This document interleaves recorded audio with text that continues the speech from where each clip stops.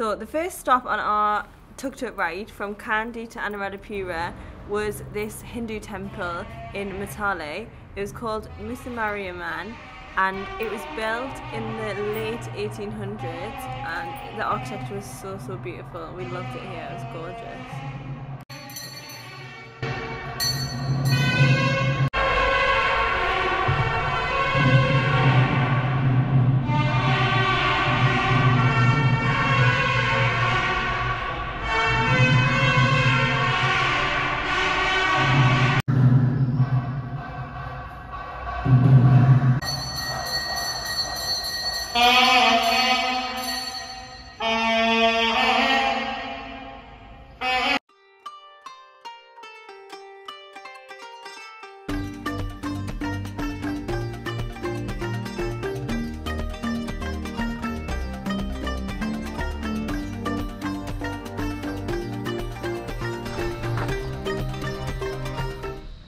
At Dambulla, Golden Temple at Dambulla. It's really beautiful here. I've got my sarong on again, Johnny's got his sarong on. Oh, I think there's an eagle up there. So we're going to go have a look around. Yeah, it's very beautiful here, very quiet also. what on earth is this? Like a mango on the side. Right, we've walked so far to find the ticket office. Really is warm today, but I think we found it now. So see how much it is to get in to the Dambulla Cave Temple.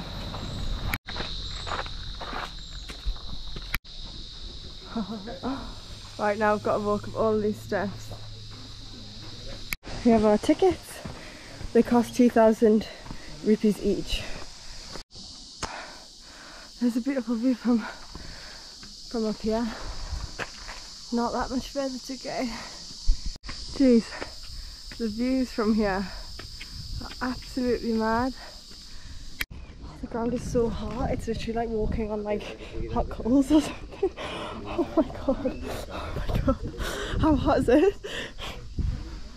Literally.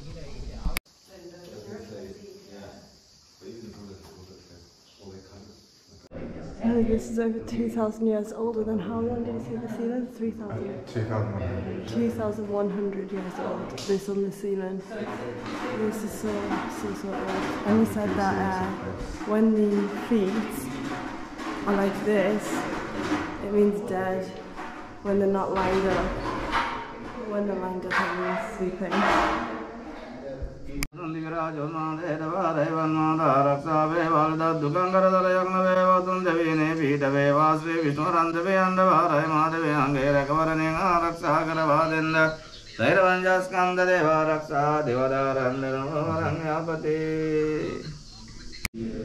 So this one has 70 statues.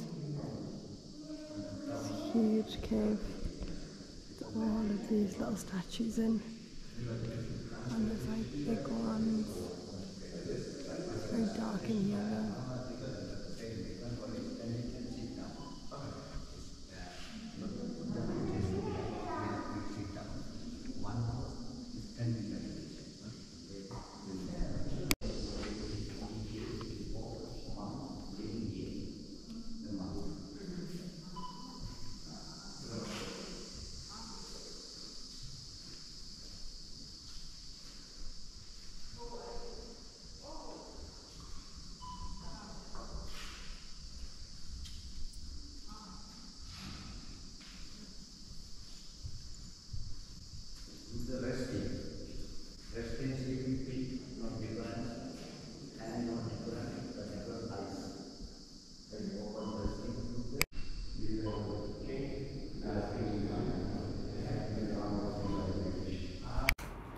After about half an hour of driving from Dambulla, we made it to Sigiriya. Um, this was like the entrance pit where you paid for your ticket, and yeah, there there's some monkeys there as well. Just we just bought our tickets, and now we're entering the like complex of Sigiriya Rock. It's really exciting. Eh? There's like a moat all the way around. It's really cool. The tickets cost um, thirty dollars, which worked out at um, 10,200 rupees each, which I mean it's pretty expensive, but Like I think it's going to be a really like beautiful and historic like important historical place. Like we really like the last place as well, so I think we're gonna like this place. It's one thing is that it is so quiet. Like there's barely any tourists here, which we haven't really found in other places around Sri Lanka. But here it's like feels really prominent, doesn't it? Yeah, generally like, I think it's like it's dead. a lot less tourists around the south. Like, but even Udawalawe was, was kind of busy, wasn't it? Yeah, like there's people on the safari and like there's people down in the south beaches, but just here it feels like really quiet. Maybe it's like because it is quite expensive or something like that comparatively to other things that you can do in Sri Lanka. But this is great. Here's our first proper view. Wow, it's crazy. So what were you saying about how it was created, John? It was uh, like in a Rock. volcano. A, la- a lava plug, isn't it? Lava plug, yeah. That's Yeah. why it's the shape from an ancient volcano years and years ago. Jeez. These are some of the old pools in the miniature water garden. That's what it's called, wasn't it? Water gardens, yeah. Yeah, but it's called miniature water garden. Oh, yeah. Oh, okay. So I looked on my map. I've got a little map which tells me all of the info. We didn't pay the extra for the guide because we just want to do it at our own pace, really, and like see it like in our own time rather than like have a guide rushing us around or something like that. Oh my god, we've started our climb. It's actually really tall. I feel like this is going to make us so sweaty because it's really hot. It's so hot today.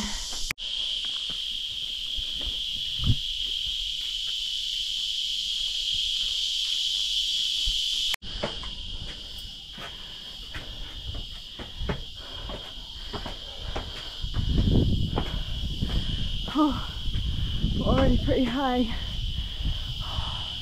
Now, this is what we're climbing. My fucking god. Them steps do not look safe. Is why it's called Lion's Rock.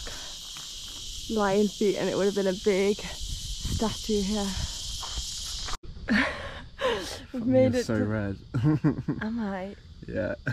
Oh my god, we've made it. Is it burn or just red face? I think probably just red face. Okay, we've made it to the top. It was really hot when we were climbing up, and like loads of stairs. It was, to be honest, this is not. It's not for the people who are scared of heights because it, was pretty terrifying on the staircase. It's actually I was that, like, scared. It's high- not that like, high. high. climb. Yeah, Like, it's, it's not, not that high. It's just you just climbing like a vertical cliff on some stairs that literally are like made of rusty old metal. That's the worst part about it. But look, look at it. And of course, when you get here, there's also dogs here somehow. Like you go through all that effort to climb up, and then there's like fuzzy dogs just hanging out. The view is insane. It's actually mad to think that there's like an ancient civilization like built on here. Like I don't understand how they got up. Like how did they get the bricks? Like what? How? And also it's just mental. But you can see for like pretty much miles all around. It's insane. So so cool.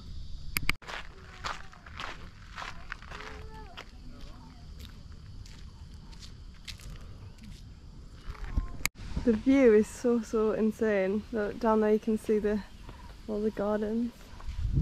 And then this is the main palace. Oh god. I'm not looking forward to going back down. Do we just stay up here forever? Because I don't want to go down the steps. This is my favourite part of the view, but look at the clouds. Ooh, not So looking good.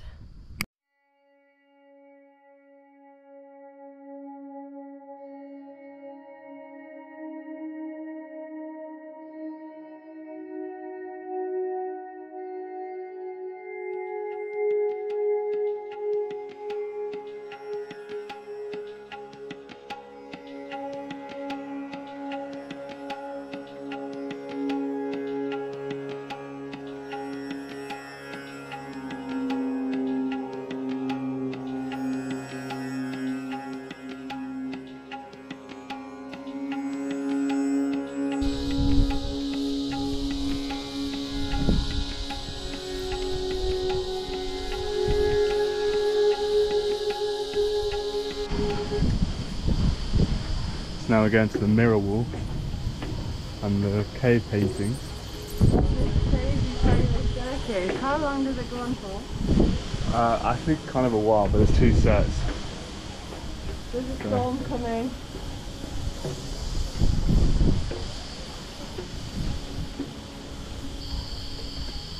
And there's no photography in here, so I have to turn this off. So after Sigiriya, we got back in the tuk tuk and continued for a couple more hours up to Anuradhapura.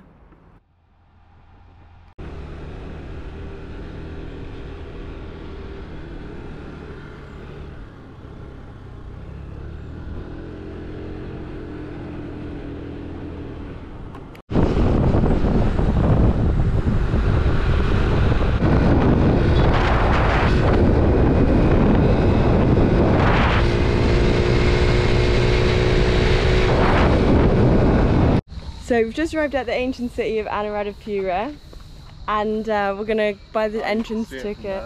Yeah, That's the uh, stupa. We've got a little scooty and yeah, we're gonna buy the ticket. It costs $25 though, so it's quite expensive, but this is one of the most ancient uh, cities that's still like Inhabited. inhabited in the world, isn't it? Like along with like Athens. Athens and like yeah, places like that. Rome. Rome. Like 3,000 years old. 3,000 years old, yeah? That's what Johnny said. 3,000 years old, that's so old. Like. I'd So Johnny said that, well, Johnny it didn't make it up, he just read it. That um, these structures are like the ancient, some of the biggest, They're the- Some of the they are the biggest ancient structures apart from the pyramids in the world that were ever constructed. I know the sun is horrible in my face, but. Yeah, they're a bit smaller now because I think it was like 120 meters. Oh, 120 meters, wow. They- but they say it's about 70 according to this. But now it's just 70.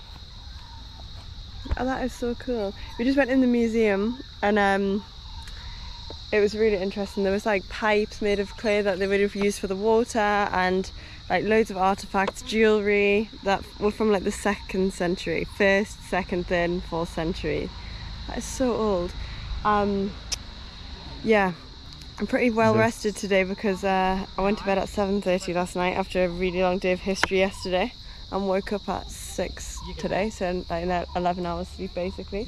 Um, but yeah, we'll have a wander around here. We've got a scooter to take us around as well because the, some of the ancient parts are like quite far apart. But it's really cool. I don't know if we drive to the next one or we walk, I think we might be able to walk to some bits when we drive. Like, Okay. After like three so. right? It's a hot day, hot, hot, hot. And this building is British colonial from 1937. It's really beautiful. So there's lots of different types of history today. This one is called Jetavanarama, we think. Yeah. yes, that's right. we right. do, we know. This. And this is a huge structure. Go and stand in front, John, just so that I can sort of show the scale. Like, it's huge. And we put our sarongs on so that we can uh, have a walk around. And then those are the little steps that they would use to go in to the top.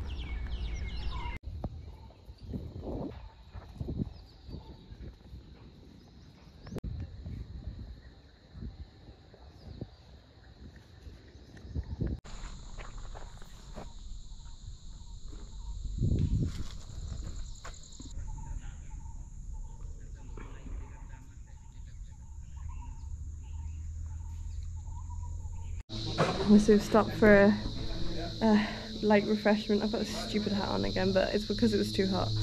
And then uh, roti uh, itu sweet. we've got Sri Lankan orange juice and king coconut in this little place. It's quite cute. So inside this one, what's it called? It is called Thuparamaya. Thuparamaya is apparently Buddha's right collarbone. So this is a very holy place. It's a big pilgrimage site. Okay, And it's actually the first Buddhist to be built in Sri Lanka. yeah, third century BC. in the third century. So, Wow. what, 2,300 years old? Yeah.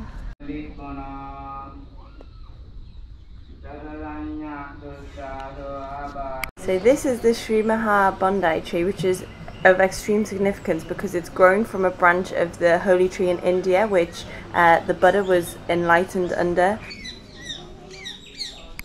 So we decided to go for a drive, but then we actually ran out of fuel. But luckily, this guy managed to help us out. It was so, so kind. He literally came out of his house and he was like, Yep, I've got fuel, I'll help you. He was a lifesaver. Yeah. Love him. Thank you so much. So, as you just seen in that clip, we did run out of fuel on the way here. So that wasn't so good. This dog is obsessed with me. Why are you obsessed with me? But luckily we ran out of fuel just outside a mechanic's office. Mechanic's office, a mechanic's workshop. And that meant that we could just fill it straight away.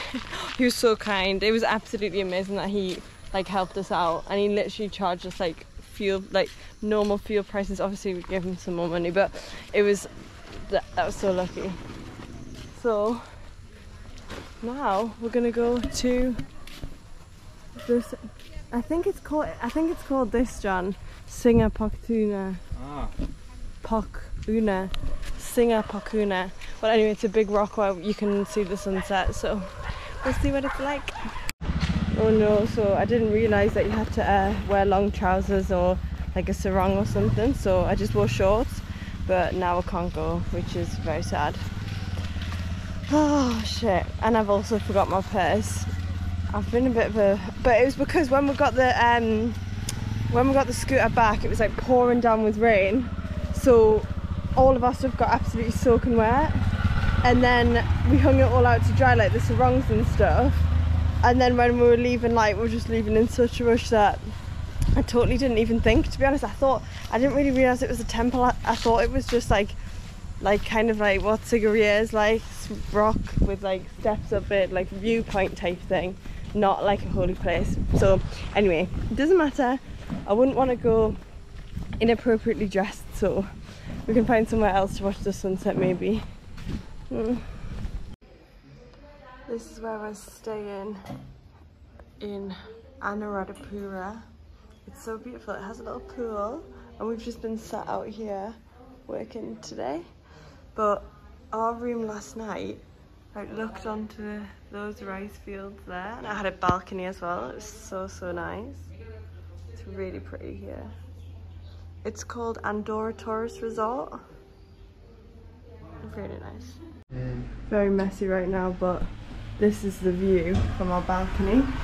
It's absolutely gorgeous out here. The rice field view we can have a little seat out here. Gorge now we're on the platform of Anuradhapura station waiting for probably takes half outside um, the train to go to Colombo. So it's pretty cool here. This is our ticket. It costs 2,400 rupees. And we have um, oh my god I look bad but we'll have seats that uh, are reserved which last time it was a bit crazy when we didn't have them reserved. We had to like sit on the floor and because it's such a long one like it's like three and a half hours or something I just thought nah we'll, we'll just spend a little bit extra. It's like it's not a lot of money. Um, I'm just hoping that we're the right part of the platform and stuff but the, the station is really cool. All the old signs are just like amazing. It's so sweet. This is on the train. Look how much space we have at our feet it's such the most legroom ever luxury Luxury. And we got a and power we put thing. our bag up there Plug your laptop in. and yeah power out there this is perfect Ah, we can even get the iPad up from there. Yeah. Now this is our room in Colombo. Oh my god, we are in luxury right now. Look at these. So pretty. And two pillows. And like a desk with a desk chair, which for some reason other places that had dressing tables or like desks, but no chair, which is so weird. We have a mini bar. Oh my god. There isn't anything in it, but it means that we can keep the water cold, which is always a good thing. And there's a little balcony out there as well. Gosh, this is lovely. Wow, we've come to a very local uh, place in Colombo for rice and curry. What was the place called? Hotel Una or something? Uwa, I think. Uwa. And then, yeah, we've tried this new drink as well. It's called orange barley. It's a bit weird. It tastes like squash or something. But yeah, the usual like this one's cabbage, this one's dal, this one we still don't. I still need to look at what that is online. And then this one is like a potato thing, it's coconut sambal, so good.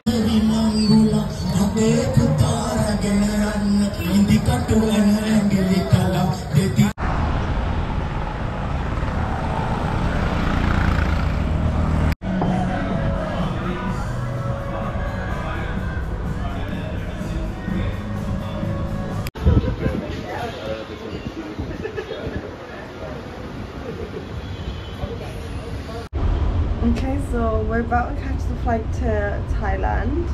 Um, so this will be the end of the Sri Lanka vlogs. Oh my god, like it's been a crazy month. I can't believe it. I can't believe like everything that we've seen and done has been insane. Like it's completely blown my expectations out of the water. Um, thank you so much for watching the vlogs. I hope they were good. I hope everyone enjoyed them. And yeah, we'll be back with the Thailand vlogs when we land there in Bangkok tonight.